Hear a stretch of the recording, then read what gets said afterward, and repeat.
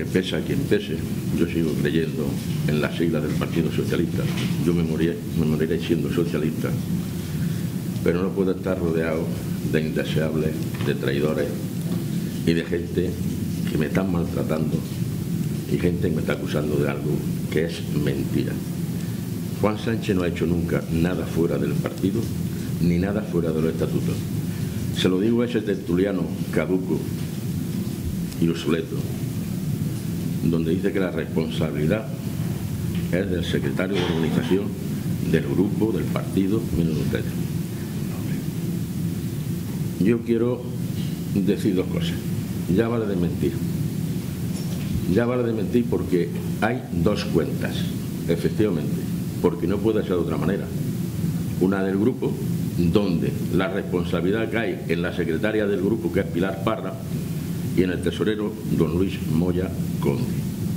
Esos son los artífices totales y absolutos de la responsabilidad del grupo, tanto del dinero como del funcionamiento. Luego, yo eh, muchas veces le han preguntado a los medios de comunicación, bueno, y, la firma de Pilar Parra, si Juan Fernández no puede sacar dinero, si no puede sacar nada, yo no sé por qué Lude después diciendo que no sé qué, que era para proveedores. ¿Para proveedores de qué? Yo he sido proveedor, yo no soy proveedor, ¿verdad? Yo soy proveedor de votos y de honestidad. Por cierto, quiero entrar en una de las cosas que ha dicho Juan con respecto a la querella que se va a presentar por parte de Juan Fernández y Juan Sánchez cuando termine todo el procedimiento legal.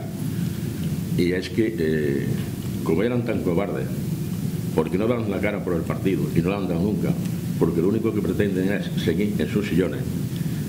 Yo tuve también una denuncia por parte de un partido político, donde hubo un juicio de conciliación, que tuve que pagar yo. ¿Para qué? Para que sigan ellos en sus sillones.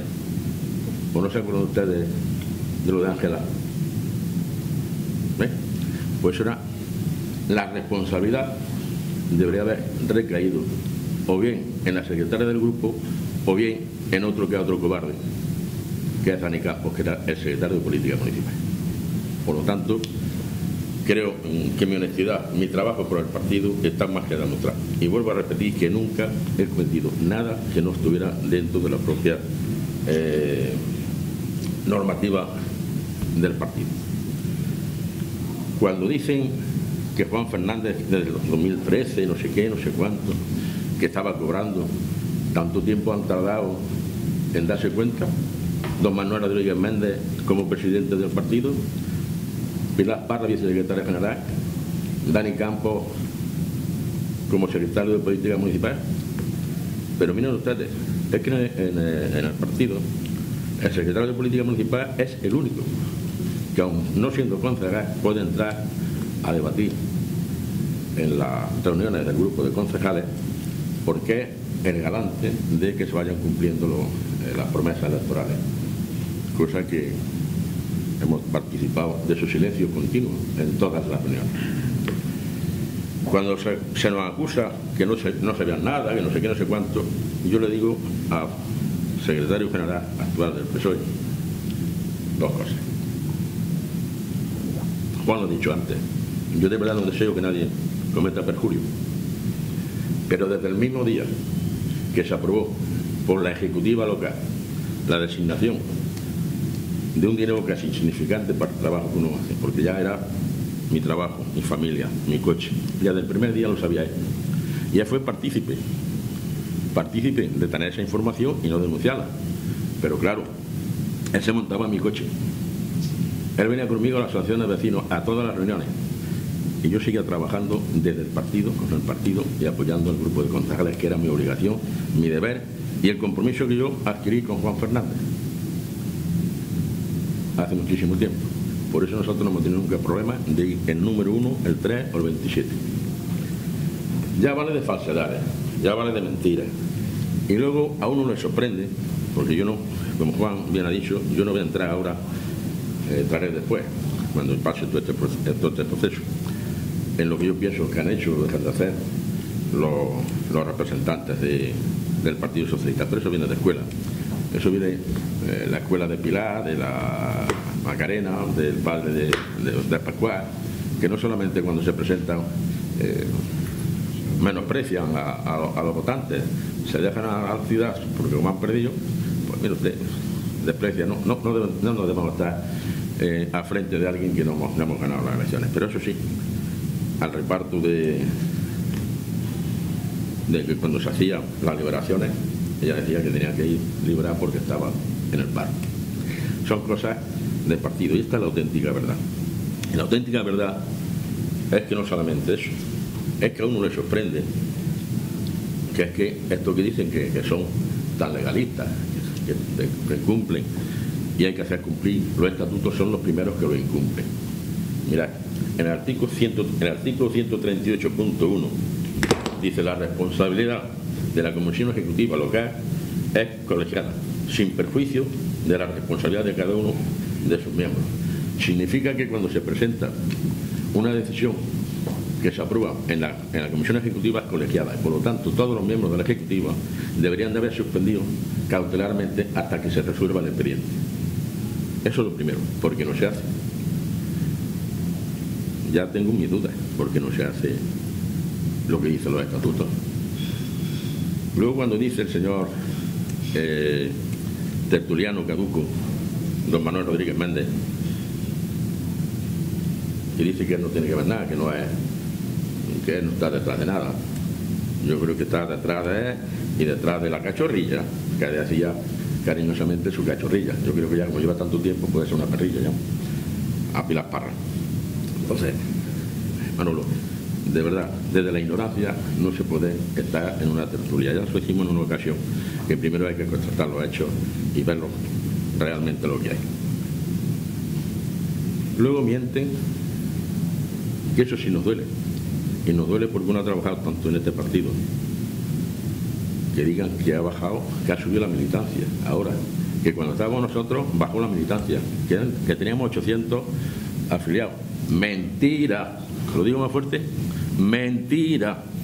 Linares tenía 800 afiliados cuando estábamos en la sede en la calle Tetuán. ¿Vale?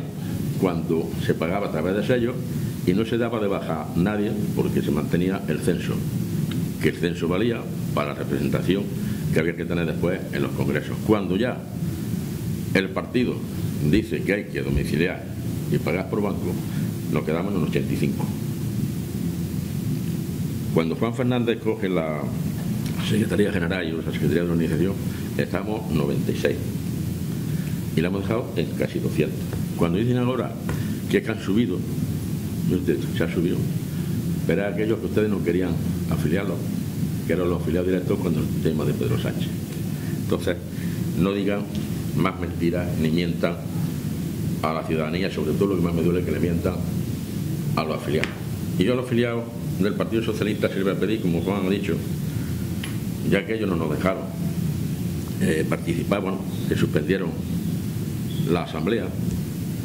Se suspende una asamblea fuera de estatuto, fuera, eso es inconcebible, porque en el Partido Socialista lo primero que se hace en una asamblea es constituir la mesa.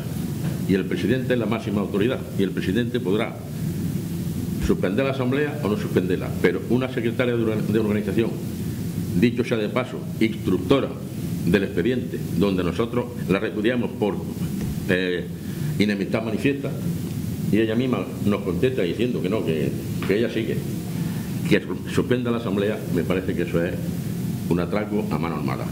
Y nosotros íbamos más que explicar a los compañeros y compañeras de entonces cuál es la situación y decirles la verdad. Y la verdad es esa. Y no hay otra, otra verdad más allá. Luego, hombre, cuando dice que el acta que se presenta como consecuencia de la, asignación por eh, la actividad que yo estaba haciendo dentro del grupo, ¿eh? que era para desplazamientos, fiestas y, y malas, y aparte de eso otras cosas que las asociaciones vecinos saben perfectamente que ponía de mi dinero. Yo creo que eso es una falsedad absoluta, un odio, pero no un odio a Juan Sánchez, seguramente que no, más a Juan Fernández. Y yo he sido siempre, y Manuel Rodríguez Méndez debe de saberlo, y él el que más debería de callar, que yo siempre he sido fiel a mi secretario general. Porque si no estoy de acuerdo con lo que hace, yo me voy. Porque yo no tengo ningún problema, ni ningún sillón, ni he estado nunca ligado a nada por los sillones. Y eso mm, yo creo que me honra en mi trabajo. Cuando dicen que este procedimiento ha sido garantista, mentira. Se han pasado más de 30 eh, artículos en este procedimiento.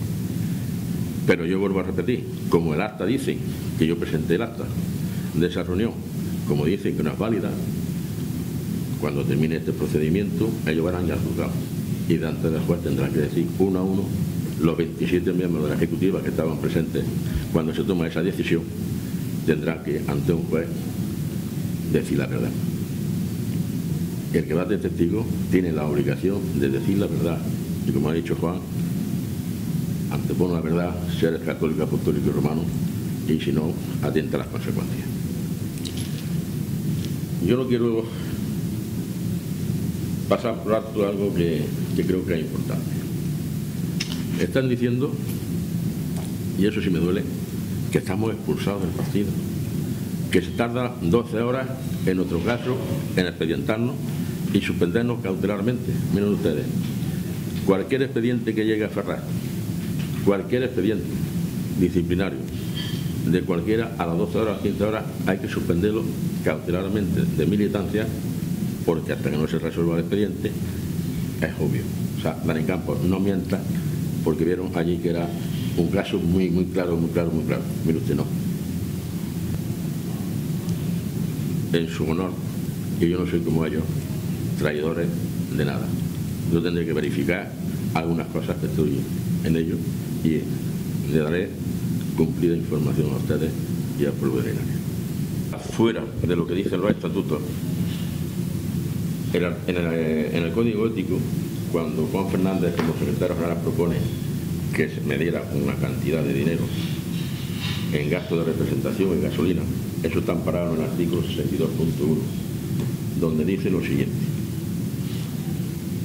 Solamente podrán recibir o percibir cantidades de dinero como representación o como dieta siempre no estén en un cargo eh, público el secretario general, secretario de organización y secretario de administración. Eso se someterá a la comisión ejecutiva, se, aprueba, se aprueba sin, vamos, sin tener que votar el aceptado en este caso, que era yo. Cuando se produce eh, ese hecho, yo me salgo de la agrupación, porque así lo indica también eh, Juan Fernández como secretario general, yo me ausento y se hay, un debate donde se aprueba la asignación que iban a otorgarme. Por lo tanto, está recogido perfectamente en el artículo 62.1 del Código Ético. ¿Qué es lo que pasa? Que ellos no reconocen el acta. La acta de la Comisión Ejecutiva siempre, de siempre, de toda la vida, la ha hecho el secretario de la organización y la firma el secretario de la organización, pero como una línea para después si hay alguna pregunta con respecto a lo que se ha acordado, que se le dé. Pues no me reconocen esa, eh, ese acta. Por eso digo que como no reconocen ese acta, y se sigue manteniendo la actitud de mi expulsión, lo verán en el juzgado y tendrán que decir en el juzgado, uno por uno, de los 27 que estaban presentes, uno seguramente dirá que él dijo que no. Pero también lo digo, es que eso fue la auténtica realidad y lo que pasó. Y esa es la verdad, no la que están inventando. Y lo que dice Juan, y lo que yo ratifico y ratifican muchos compañeros, es que fue Pilar Parra la que propuso esa cantidad, esa asignación al compañero y amigo Juan Fernández. Esa es la verdad, no